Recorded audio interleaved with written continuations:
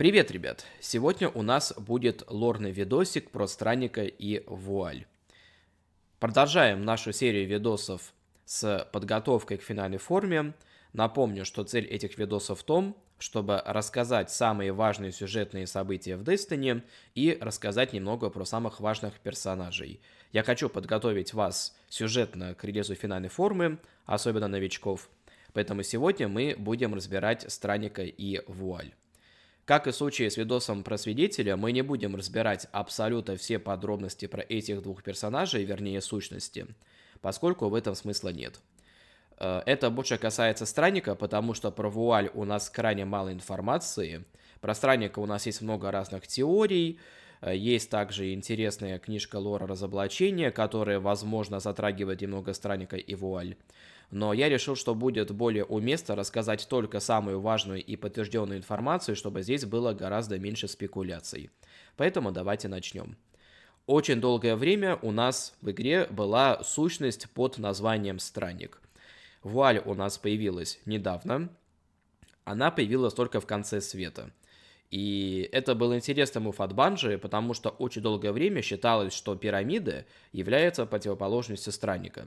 То есть странник у нас это, по сути, э, главный источник света, и у него был древний враг в виде флота тьмы, флота пирамид.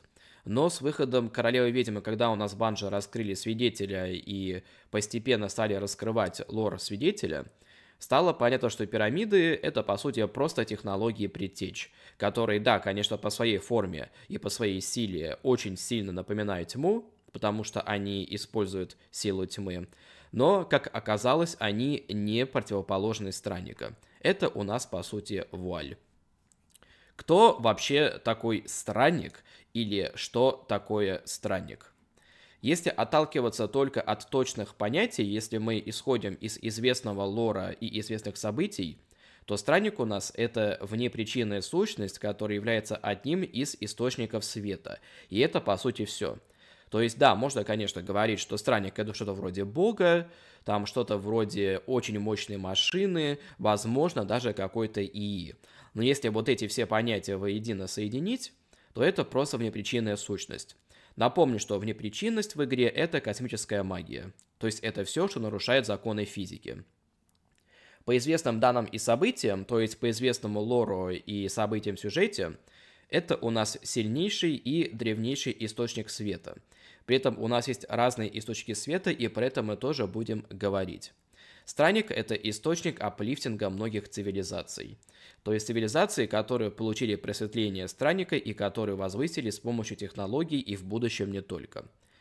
Является де-факто создателем призраков носителей света и де-факто самих стражей. Это тоже далеко не секрет.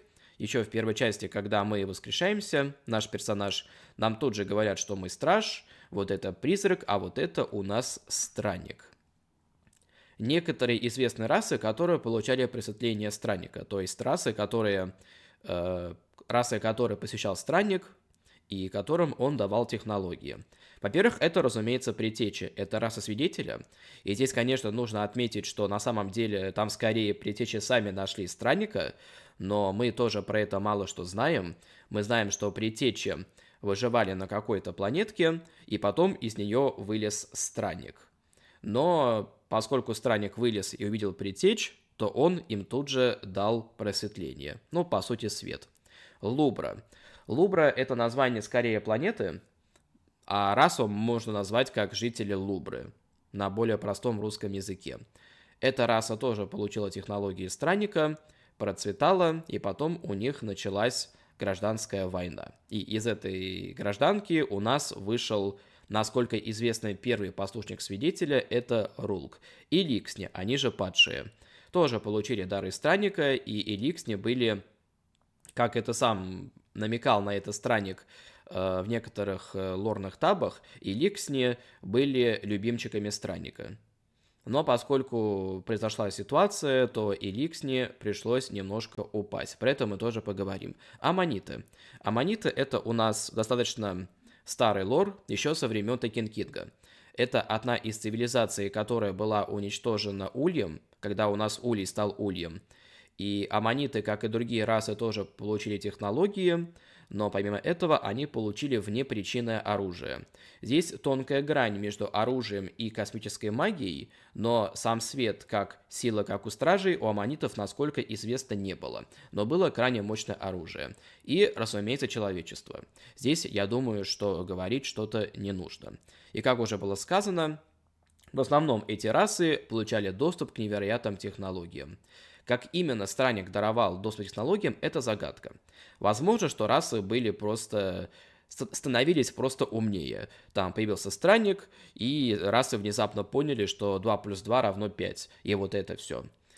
Вероятно, что притечи были первыми, кого благословил странник, и ну, это можно, это предположение, исходя из известного лора. Э, странник, который появился из Земли миллиарды-миллиарды лет назад, все-таки, да, наверное, предтечи были первой расой. И ирония в том, что эта же раса у нас в итоге станет причиной падения всех остальных просветленных рас. Когда у нас предтечи стали свидетелем и пошли всех гасить. Помимо того, что странник даровал технологии, его вторая важнейшая особенность – это терраформирование планет из спутников, которые раньше были непригодны для жизни. Например, это Марс, Меркурий и Ио. Сейчас мы знаем, что странник это делает с помощью запуска луча. Это мы узнали в конце света, когда странник нанес удар по пирамиде свидетеля. Но если мы говорим про терраформирование, то да, это по сути пуск луча на какую-то планету, хотя не обязательно, и происходит преобразование этой планетки. По известному лору странник всегда молчит и никому напрямую не обращается. То есть он просто прилетает к цивилизации, там летит э, на какую-то планетку, ее изменяет, дает технологии и все. Он молчит. По какой причине это неизвестно. Возможно, что просто не хочет. Возможно, возможно, что просто не хочет. Возможно, что он просто не может этого делать. И мы наверняка получим ответ в финальной форме. И это у нас фраза будет в этом видосе крайне актуальна. Многие ответы мы получим именно в финальной форме. При этом, разумеется, есть примеры, когда странник пытался коммуницировать. Со стражем игрока Форсекине, когда мы получали новые суперы. И тогда странник это делал через диалоги разных персонажей. То есть у нас запускали старые диалоги, чтобы с нами просто поговорить. И с Ворном в сезоне Охота. С помощью снов и через Ястреба Света. Давайте поговорим о спикерах, потому что многие э, могут упомянуть момент, что вот странник разговаривал со спикерами, они же глашатые. Они, напомню, появились у нас, по сути, после коллапса, когда странник э, даровал э, стражам свет, и появилась вот эта когорта спикеров. Хотя очень вероятно, что во время Золотого века человечества были какие-то люди, которые тоже могли якобы со странником говорить. Якобы, разумеется, в кавычках. Вернее, говорить в кавычках. Спикеры якобы видели сны, которые были направлены странникам. Э, у нас есть одна книжка Лора, которая рассказывает про разных э, спикеров времен Э, когда уже появились стражи, и там сложно сказать, что какой-то спикер мог хорошо интерпретировать то, что говорил странник. При этом, чем дальше заходили эти спикеры, тем хуже становились сны. То есть такой некий коннект между спикером и странником, он становился все более слабее. Почему вообще спикеры видели сны? Э, неизвестно, но якобы если вот какой-то ребенок уже видит вот эти интересные сны, то он потенциально является спикером. Его находили, его там чему-то обучали, и он становился глашатаем странника. Последний известный спикер использовал маску, чтобы вот эту связь со странником усилить, потому что у него со снами было все очень плохо. И один из примеров, когда странник пытался реально коммуницировать, это до начала Красной войны, Странник пытался предупредить, что будет Красный Легион. Спикеру приснился сон, как были корабли, и как странник был в клетке. И он побоялся об этом всем рассказать, потому что начнется полный хаос. Но в итоге это предупреждение у нас былось, напал Красный Легион. Короче, загадка этот странник. Очень интересно, но ничего не понятно. Так или иначе, с момента падения цивилизации Притечь Странник у нас стал частью постоянного паттерна. Странник какую-то расу возвышает, они хорошо живут, и потом прилетает флот пирамид. Чтобы уничтожить эту расу, и, как правило, странник покидает расу либо во время нападения пирамид, либо немножко заранее. С фолинами, с Эликсни, странник пытался... Странник улетел немножко заранее, чтобы попытаться, что называется, спасти Эликсни от э, грядущего вихря, так называют Эликсни свой коллапс, но не получилось. Поэтому в большинстве случаев раса истребляется и все. Хотя есть, конечно, примеры рас, которые смогли пережить свой коллапс, это как раз-таки Иликсни. Пирамиды прилетели, нанесли большой урон, но все-таки как цивилизация, как раса Иликсни сохранились. Они, конечно, сильно изменились, они стали космическими пиратами, потому что нужно было как-то выжить. Хотя до этого момента Иликсни вполне себе были хорошенькой расой. С людьми что-то сильно поменялось. Странник решил впервые остаться с расой и дать бой Черному флоту. Почему Странник остался, это неизвестно. Это неизвестно. Была теория о том, что во Вселенной больше некуда было бежать. Она является неправильной, потому что мы знаем, что во Вселенной как минимум у нас э, была все еще активна столица Кабал Тарабатл. Она была уничтожена э, незадолго до событий за гранью света, когда Зиву Арат э, напал на Тарабатл и уничтожил многих Кабал, так иначе по вселенной было еще куда идти, но странник почему-то остался. Возможно, что человечество было чем-то особенным. Возможно, оно могло использовать свет и тьму в гармонии, и про это мы тоже будем говорить. И странник не просто остался, он дал людям внепричинные силы света – то есть, если до этого странник всегда даровал просто технологии, которые возвышали расы, то после сражения со флотом пирамид, когда странник своего пожертвовал, чтобы э, отбросить пирамиды, он создал призраков, которые стали воскрешать стражей. Правда, после первого коллапса у нас странник ушел баиньки, ушел в коматоз состояние вплоть до Красной войны и до возвращения Черного флота. Так странник у нас не просто остался только на первый коллапс и даровал силы света, он остался и на второй коллапс, на решающий бой. И мы знаем, чем у нас это закончилось. Свидетель у нас победил, по крайней мере сейчас, и открыл портал в бледное сердце странника, которое у нас будет в финальной форме. Если вы думали, что странник это большая загадка, то поверьте, бледное сердце – это еще большая загадка. Как на сайте Банжи написано описание этой локации, здесь трещит по швам сама вечность, здесь нет ничего постоянного, здесь нас преследуют отзвуки нашего прошлого, и здесь вам откроются истоки Великой войны. Это у нас что-то вроде какого-то измерения, э, которое как-то принадлежит страннику, то есть вообще непонятно – и в бледном сердце у нас находится источник света. Мы это знаем, поскольку Витнесу нужен свет, чтобы добиться финальной формы. И тут, конечно, вопрос, что мешало свидетелю просто выкачать свет со странника, видимо, этого не хватит и этого не поможет. То есть нужен именно источник. И откуда мы это знаем? Витнес говорил во время своей первой кацены в Ичквине, что ключ в твоем бледном сердце. То есть бледное сердце у нас это, видимо, то, что принадлежит именно страннику. При этом это, конечно, выглядит очень дико, что вот у странника есть такое вот, такая вот карманная мелкая вселенная. И для доступа к этой, пока что мы назовем это карманная вселенная, там, не знаю, сингулярность, нужна была вторая часть, это вуаль. То, что у нас является еще большей загадкой, чем сам странник. Что такое вообще вуаль?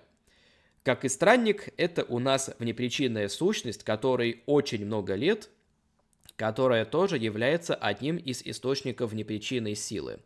Только в данном случае это не света, а тьмы. По известным данным и событиям, это древнейший источник тьмы. Наверняка он является и сильнейшим, но про вуаль мы почти ничего не знаем, поэтому будем только предполагать. И как у нас говорила Аса в сезоне «Глубины», когда рассказывала нам больше про свидетеля, Странник и Вуаль – это две половины одной сущности. Они раньше были вместе, и их потом разделили. Что касается предыстории Вуали, то ее мы уже, по сути, затрагивали в видосе про Витаса, поэтому давайте это все повторим. Вуаль у нас была найдена впервые предтечами. То есть предтечи у нас оказались такой очень гигачатской расой. Они первыми во Вселенной, видимо, э, нашли странника. Они во Вселенной первыми познали свет, и они же у нас первыми нашли вуаль и познали в итоге тьму. Э, когда предтечи уже очень многое изучили про свет и про странника, они нашли вуаль. И изучение вуали и тьмы, по сути, привело к тому, что предтечи у нас стали, назовем это, плохими персонажами.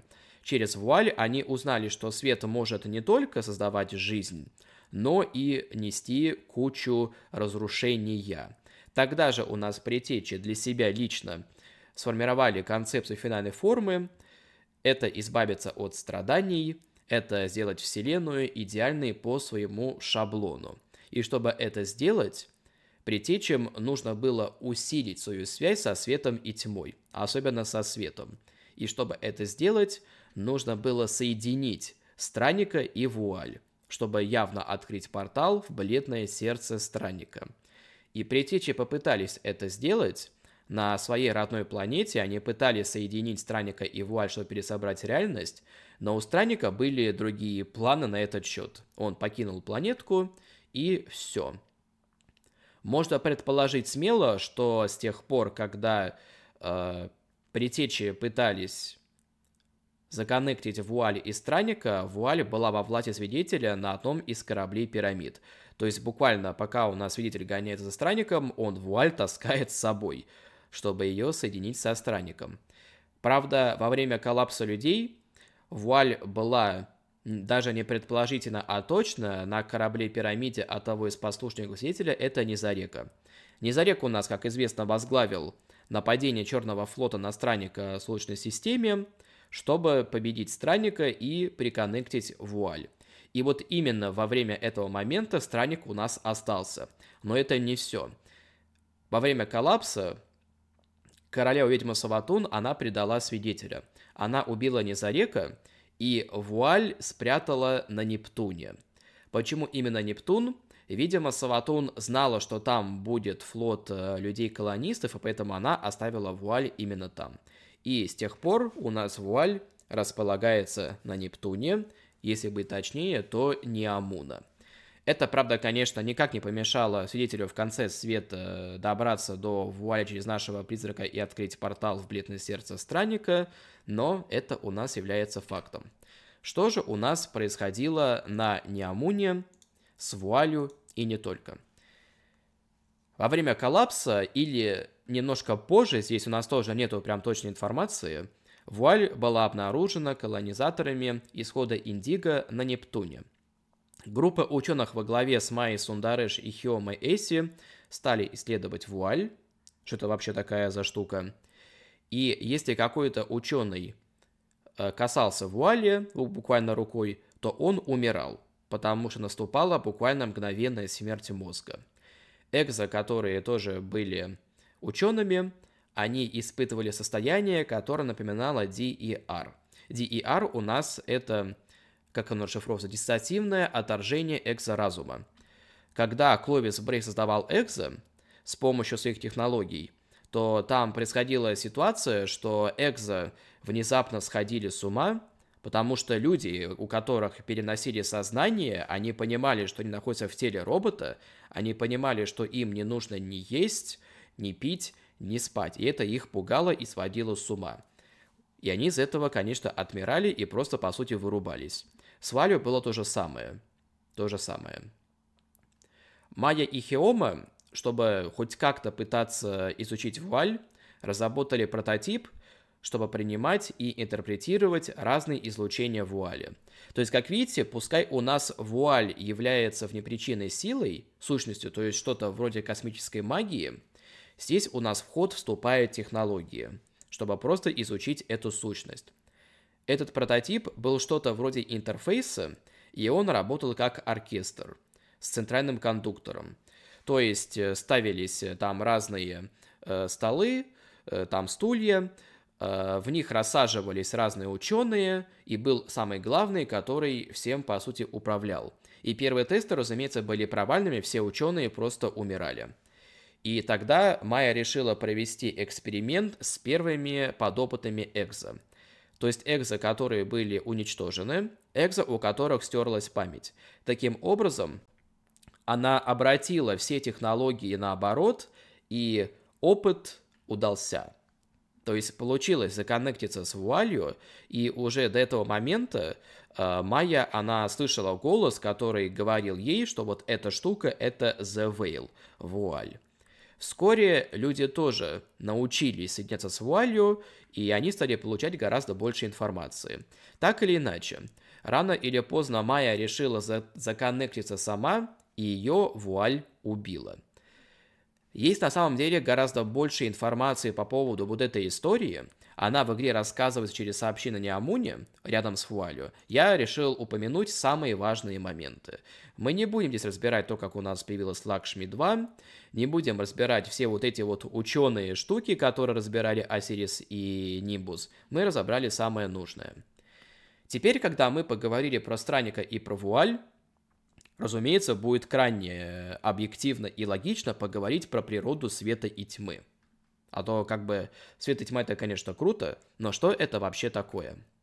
Здесь один важный момент – до выхода за гранью света, я бы сказал бы даже до выхода сезона прибытия, у нас было, был очень простой взгляд на природу света и тьмы. Свет у нас это добрая сила, сила очищения и просветления. И тьма у нас это злая сила, это сила осквернения и упадка. Странник у нас является кондуктором света, и пирамиды у нас являются кондуктором тьмы. На тот момент Банжи именно так подавали вот эту всю историю. А, в Шедукипе, когда мы обнаружили пирамиду на Луне, она воспринималась как злая сила. С другой стороны, уже тогда у нас вышла книжка Лора Разоблачения, и уже тогда мы поговорили со тьмой, де-факто со свидетелем, и уже тогда возникали вопросы, что, возможно, тьма, конечно, и злая, но у нее есть некоторые подвохи. И мы знаем, что Эрис Морн – у нас уже тогда получила силу стазиса. Она просто раскрылась именно за гранью света, но Эрис получила тьму еще очень-очень давно.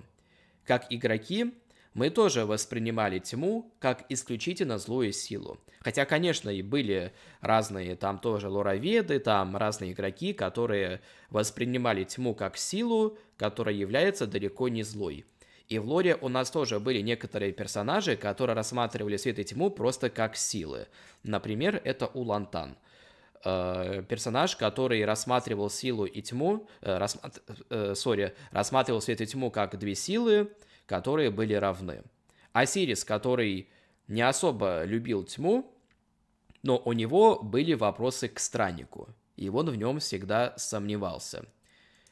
Через какое-то время когда мы стали получать гораздо больше лора про свет и тьму, особенно в Lightfall, когда у нас появился Стрэнд, наше понимание света и тьмы стали расширяться, что в итоге мы смогли узнать и сформировать. Свет – это внепричинная сила, которая связана с жизнью и созданием. И основная, так скажем, фича света в плане философии – это разнообразие и комплексность. Манифестируется свет – через энергию молнии, через энергию солнца, через энергию пустоты и терраформирование странника. И как это объяснял тоже Осирис, терраформа... терраформирование странника – это физическая трансформация на молекулярном уровне. То есть свет у нас связан с физической силой, и свет у нас это все вещественное. Тьма немножко другая история. Тьма у нас это тоже внепричинная сила, но она связана с эмоциями и памятью. И в отличие от разнообразия и сложности света, тьма у нас это простота. Манифестируется у нас как вы знаете, через энергию статиса, энергию нити, кошмары, которые были на Луне и на Левиафане, глубинное зрение и резонанс. Хотя тут, конечно, можно еще упомянуть э, грибы э, сезона видения на том же Левиафане. То есть тьма у нас связана со всем метальным, со всем разумным. Если свет у нас это, грубо говоря, тело, то тьма у нас это разум. И если вот раньше мы считали, что у нас именно странник является главным кондуктором света, а пирамида является главным кондуктором тьмы, то теперь у нас свет – это странник, и тьма у нас – это voile, the veil. При этом важно понимать разницу между технологиями и внепричинной силой. Внепричинная сущность тьмы и света дает доступ к разным технологиям. Например, у света у нас это были предтечи, которые познали свет, и они же с помощью света могли терраформировать разные планетки. Это, это очень тонкая грань, и здесь скорее можно сказать, что это была скорее космическая магия, но все-таки это, наверное, лучше обратить э, в сторону технологий. Те же аммониты, которых я уже упоминал, они использовали оружие света. Такое более четкое определение технологий у нас было у Эликсни и у человечества.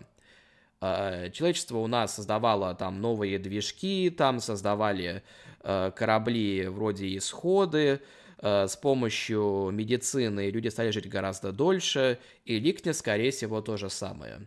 У тьмы у нас это были предтечи, потому что они использовали вуаль. Это же были люди, которые создавали экзо. Это важный момент, э, когда э, Клобис Брей нашел э, статую женщины на Европе, он получил де-факто доступ к, назовем это, энергии тьмы. Но чтобы в итоге создать э, экзо, которые работали, ему также понадобились вексы. Но это другая история. Очень вероятно, что у нас это еще Улей, который как-то утилизировал тьму как технология. Возможно, даже ту же самую магию Улья. Но некоторые во Вселенной могут использовать свет и тьму, чтобы ломать законы физики – то есть это внепричинные силы. И тут примеров будет гораздо меньше, потому что про них вы сами все знаете. Свет у нас это носители света. Это стражи и сияющий рой. Это когда ваш страж кастует супер, или когда, допустим, ваш призрак кого-то воскрешает. Это нарушение закона физики, это у нас космическая магия. У тьмы у нас это, разумеется, свидетель, и тут и силы внепричинные, и технологии. Разумеется, это стражи, мы потому что мы можем использовать стренд, э, стадис и другие силы тьмы. И также, возможно, улей, потому что улей у нас с тьмой так или иначе был вполне себе связан. Кардинальное отличие между светом и тьмой – это то, что свет нужно получить в дар, а тьму нужно выбить самому. Странник у нас даровал свет сам. И особенно это касается силы света – то есть можно, конечно, узурпировать свет, допустим, те же технологии, да, но все попытки, как правило, проваливаются, либо они наказываются странником. Красная война, когда э, Гол пытался украсть свет, и он это сделал. Странник проснулся, и Гол э, просто разобрал, потому что свет нужно получить в дар.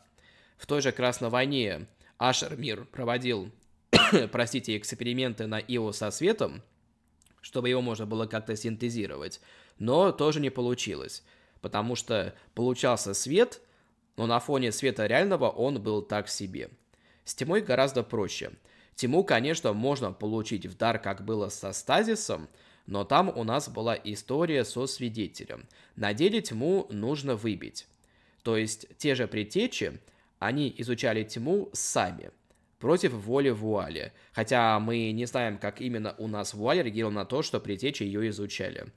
Так или иначе, стренд мы получили, потому что мы его забрали сами. И мы, конечно, стазис получили в дар, но мы получили в дар, что называется, бета-версию. И у Витнеса была цель это нас осквернить. И в будущем у него это получалось, когда в итоге стражи становились темными стражами и помогали де-факто свидетелю победить странника и не только. Также свет и тьма отличаются в том, как их можно использовать и в каких кондициях. Свет можно использовать только тогда, когда у кого-то есть с ним связь. И вот эта связь может обрушиться. Это если сковать странника, как у нас было в Красной войне, или если сковать призрака, как у нас было, например, э, в сезоне избранный, когда э, призрака завалы завалили псионы, и завала тут же потерял коннект со светом. В некоторых моментах связь со светом, она может усилиться. Это фрагмент странника в лесу, в черном, э, на ЕДЗ, и это колодцы света. Это не ульта Варлока, это вот колодцы света, которые дают вам гораздо больше энергии света. Ну, по сути, улучшают КД ваших обилок. Тьму, в отличие от света, можно использовать когда угодно и где угодно. То есть э, какие-то кондукторы вам не нужны. Да, у нас, конечно, во время Beyond Light был осколок тьмы, когда мы получили стазис – но когда его сломала Эрамис, наш страж, что называется, закастовал тьму внутри себя. То есть здесь какой-то призрак, насколько известно, нам не нужен. И связь с тьмой, как и со светом, может где-то усиливаться. Например, не Амуна, потому что там была вуаль, и Стрэнд — это би-продукт вуали. То есть э, Стрэнд появился, по сути, только из-за вуали. Мы нашли вуаль и стали ее использовать. И Европа с помощью сплинтеров. Тоже далеко не секрет. И как я уже говорил, у нас свет манифестируется солнцем, молнией и пустотой, и тьма у нас манифестируется стальцем глубинным зрением и нитью. Что же у нас касается именно стражей? Стражи, учитывая весь известный лор и сюжет, это уже больше спекуля, хотя скорее больше аналитика, стража является у нас носителями света по той причине, что их выбрали для воскрешения. Призраки, которые были созданы странником. При этом стражи являются носителями тьмы изначально, так как сама тьма является фундаментом всего ментального, как и свет является фундаментом всего физического. Свет есть во всем и вся, как и тьма, но из-за кондукторов, вроде призраков – стражи имеют связь с манифестациями света. То есть даже условный улей, который у нас, э, давайте не улей, а даже условные, не знаю, там вексы или, допустим, кабал, у них есть какая-то частица света, потому что они имеют тело, и это у нас момент вещественный. Но поскольку у стражи есть кондукторы света, то они могут использовать свет не только потому, что он есть, и потому, что он является их частью, а они могут использовать свет как внепричинную силу. И это очень важный момент. Но почему мы можем использовать тьму как э, внепричинные силы? Очень возможно, что дары странника позволили стражам использовать тьму как внепричинную силу то есть использовать манифестации тьмы. И здесь тоже важный момент. У нас Осирис умеет использовать стренд, хотя у него света по сути больше нет. Именно вне причинного света, потому что была убита Сагира, и свой коннект со светом непричинным Осирис у нас потерял. Более того, у нас есть пример Элси Брей, которая может использовать стазис, хотя она не является носителем света – и здесь тоже есть один интересный момент, про который я буду говорить в самом конце с Элси Брей, но вообще по-хорошему тьму может использовать каждый. То есть э, не только те, кто у нас является стражами. И как уже было сказано, свет у нас может усиливаться, и он же у нас может быть подавлен. Подавлен, если страж находится в зоне концентрации тьмы, в игре у нас это темные зоны – зоны, где ваше воскрешение ограничивается. И если был подавлен источник света, то есть либо странник, либо, соответственно, э, призрак. С тьмой такого нет. Тьму можно использовать всегда, и более того, стражи у нас изначально имеют большую устойчивость ко всем элементам тьмы, которые оскверняют. Например, э, за гранью света, вернее, не за гранью света, а в лоре Вичквина – когда э, стражи изучали, почему стадис у нас стал слабее у стражей, это, кстати, сделали Bungie реально каноном, э, когда мы получили стазис, он был сильный, и потом он стал слабее. То есть нерфы в PvP это стало каноном. Одна из причин, стражи использовали эффективно свет, свой внутренний, чтобы контрить э, стазис, любую силу тьмы. Конечно, да, у нас есть примеры стражей, которые осквернялись тьмой, там тот же Дреджен Йор, или, допустим, э, стражи в темном будущем Элси Брей. Но по природе своей стражи имеют большую устойчивость. В итоге, финальная форма свидетеля, насколько мы это знаем, это вселенная в идеальном состоянии. То есть, когда все будет идеально, все будет скучно и неинтересно. Но если мы говорим про стражей, то теперь, когда вы послушали вот эту всю историю про странника Вуаль, про свет и тьму, и когда мы увидели геймплей финальной формы, я думаю, что прекрасно понимаете, что вот эта розовая штука у нас является финальной формой. То есть это состояние, во время которого страж объединяет вещественное и ментальное мы можем использовать отдельно стазис, мы можем использовать отдельно, допустим, солнце, но вот это новое состояние супера, это по сути микс вещественного и ментального, то есть микс э, света и тьмы, чтобы у нас был в итоге розовый подкласс, который является манифестацией и света, и тьмы. Про Элси Брей, почему я ее вот так упомянул? Помните, у нас э, в трейлере был голос женщины.